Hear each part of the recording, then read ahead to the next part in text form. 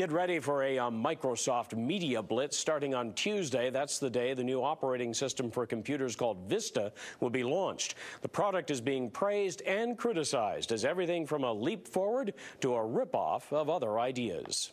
Well, I'm upgrading to Vista today, which is great, but I get a little nervous when they mess around with my inside. Well, what do you mean? Isn't it just straightforward? Not really. Like a lot of PCs, I have to update my graphics card, my memory. If I want the premium package, I need a faster processors. It's major surgery.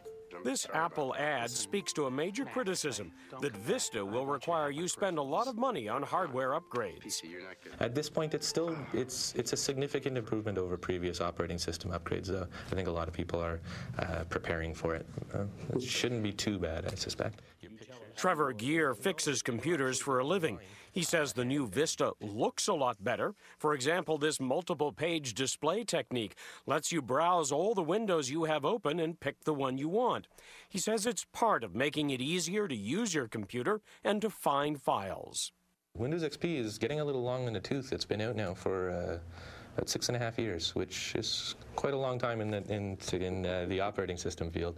Um, so they, they had a lot of catching up to do, and I, I think they've, they've made a very good shot at it for sure. Vista is what's called an operating system, the base program that runs everything on your computer. Microsoft, with a terrible track record on security, has upgraded security, altered the email system, and perhaps most importantly, put in place a media center.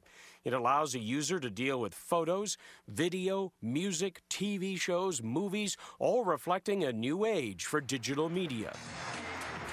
Microsoft has been talking about Vista for 14 years. Bill Gates says it's what's needed for an always on, always plugged in age. Because of the need for compatibility and working with partners, some of the security things we did, we didn't get those into the marketplace as quickly as we would have loved to do. But there's no shortage of critics on Vista. Media stories and online postings abound. The cost of upgrading your hardware, current items like printers may not work, unnecessary technical complexity that adds costs, features that push users to only deal with Microsoft suppliers. It makes some people hesitant, others see a chance to sell competing products. It's a very different operating system. It has the same name, but under the hood, it's very different, which really increases the opportunity for free, better, more stable opportunities, open source. It's not on my radar in that in that sense. Uh, I know it's out there. Um, I know my copy can upgrade to Windows Vista. Uh, I'm not re- yet ready to make that uh, that switch personal. I don't think it'll be a, an evo- revolution. It'll be an evolution. That's history in the making because it wasn't some big company that came out with it. It was some little guy in Ottawa. Dieter Donay Henderson is a longtime Mac user.